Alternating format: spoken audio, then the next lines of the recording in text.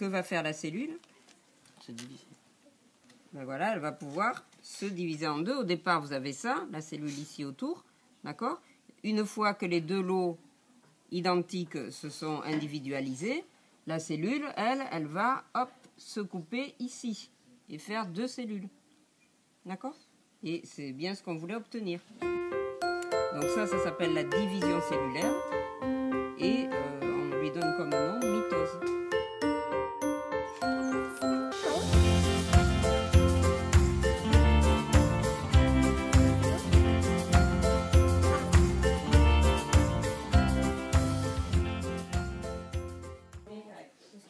Voici la cellule d'un homme du groupe sanguin A. La cellule copie les chromosomes.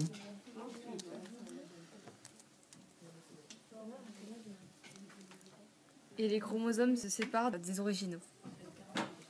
Alors, qui se sépare pour former Voilà, des cellules identiques. en deux lots.